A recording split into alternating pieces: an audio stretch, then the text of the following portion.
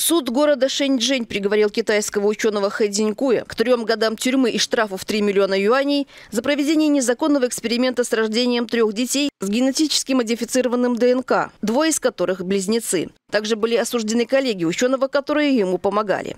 Как установило следствие, в 2016 году бывший доцент Южного университета науки и технологий Хэ Цзинькуй решил извлечь коммерческую прибыль при помощи модификации генома человека и подключил к работе двух других ученых, которые не имели квалификации врачей и подделали сертификат комиссии о соответствии эксперимента морально-этическим нормам, чтобы набрать добровольцев.